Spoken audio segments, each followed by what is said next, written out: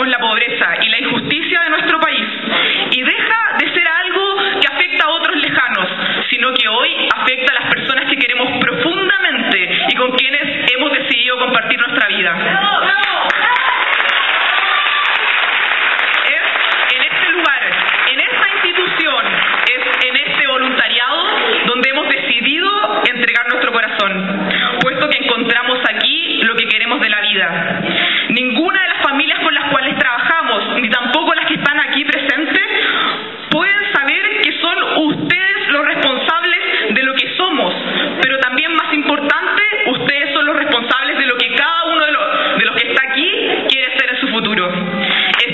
llamado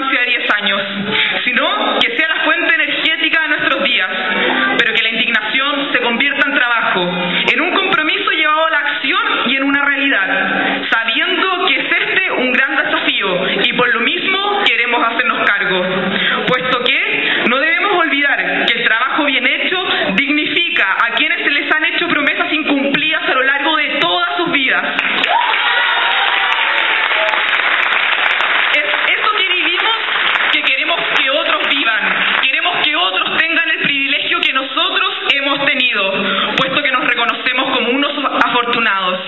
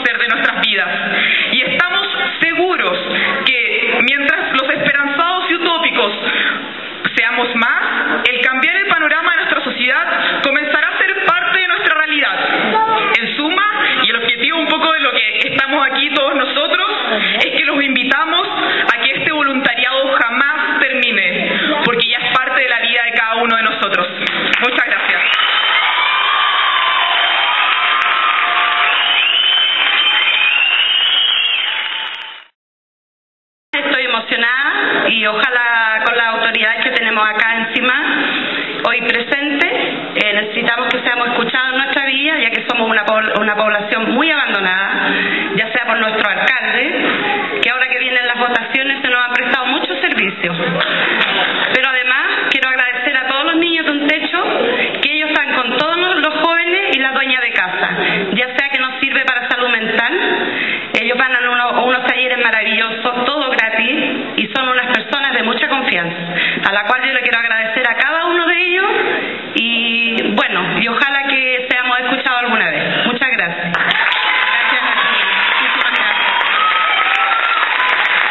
Yo llevo 12 años con el techo para Chile. Eh, ellos me han enseñado que yo no tengo que quedarme callada en ningún lado, que tengo que sacar adelante mi familia, que yo estoy, yo soy la presidenta y yo tengo que sacar adelante la familia. Si yo no saco la familia adelante, todos los van a pasar a yo.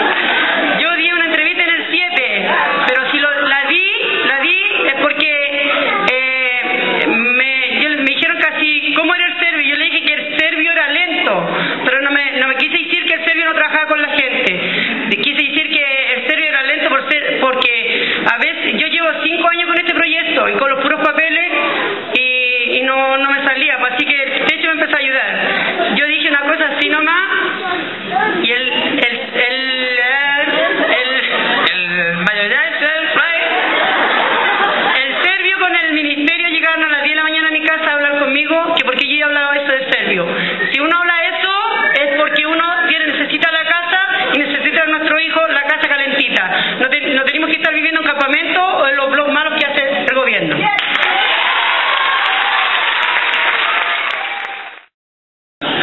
Yo he tenido la suerte durante las dos últimas semanas de recorrer todo el país en esta campaña y he visto la fuerza de las familias y la fuerza de los voluntarios, la misma fuerza que está presente acá Y si nosotros, el techo, los que estamos hoy en día, dejamos de soñar, si nosotros dejamos de creer que Chile puede ser un país sin campamento, que las familias de los blogs pueden vivir mejor, que todos los chilenos que hoy no tienen acceso a una vivienda digna deben tenerla, si dejamos de creer en eso, el techo va a morir. Y es nuestra responsabilidad seguir viviendo y que el techo perdure.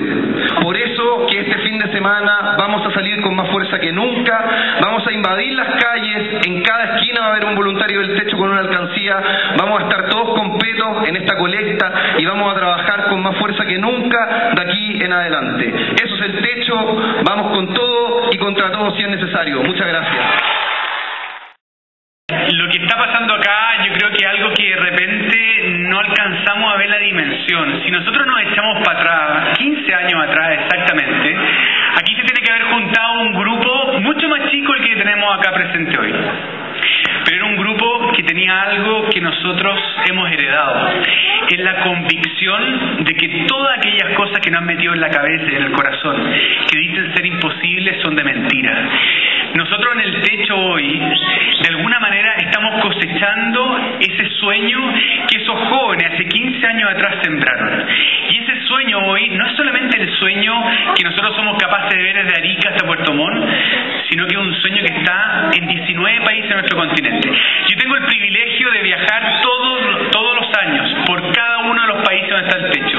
Y déjeme decirle que es emocionante visitar los asentamientos, ver a las familias y ver a los voluntarios cómo trabajan sin descanso, semana a semana, para que esa realidad sea de una vez por todas erradicada. Por lo tanto, cuando a uno le preguntan qué es lo más distintivo del techo, lo más es la convicción. La convicción de que aquellas cosas que nos dicen ser imposibles no son imposibles. Son absolutamente posibles si nosotros ponemos nuestra voluntad ¿eh? y llamamos a otro para de alguna manera transformar la realidad de nuestro continente y la realidad de nuestro país. Que como decimos en el techo, no es un continente pobre y Chile no es un país pobre, sino que es un continente Latinoamérica injusto, igual que nuestro país Chile es un país injusto. Aquellas cosas que de repente pasan, que uno no sabe por qué pasan, aquellas peleas que de repente ustedes nos, nos, nos ven dar por la prensa o por los medios de comunicación, yo les digo lo siguiente, tengan la seguridad de que el techo va a dar esta y mil peleas más por ustedes, por la familia de campamentos, por la familia de blogs, porque sabemos que la situación de ustedes no puede esperar más. Yo me acuerdo cuando yo estaba en el último año de colegio, hace 25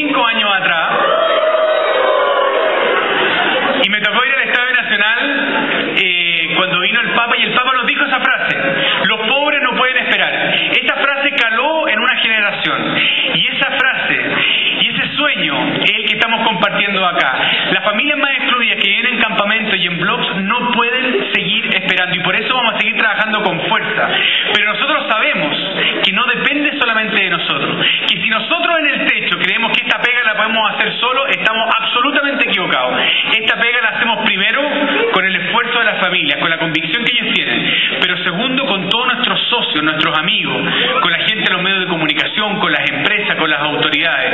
Vamos a dar esta pelea hasta que en este país no quede ninguna familia viviendo en campamento y, que en, y que en este país no haya ninguna familia que haya recibido un beneficio, una vivienda, como las que viven hoy en blogs, y esa solución sea una solución indigna e insuficiente, porque creemos que todos en país tienen el derecho de vivir en un barrio como la gente, en un barrio que tenga todas las posibilidades para que puedan progresar. Por lo tanto, esta campaña es una campaña que quiere aunar voluntades. No nos creemos el cuento que solo lo podemos hacer. O trabajamos todos juntos y nos dejamos de pelear, o en este país los pobres van a seguir esperando. Por lo tanto, sigan contando con el techo, especialmente las familias que han llegado aquí a apoyarnos. Nosotros no lo vamos a abandonar, vamos a estar al lado de ustedes hasta que en este país todos vivan como Dios alguna vez lo soñó. Que así sea.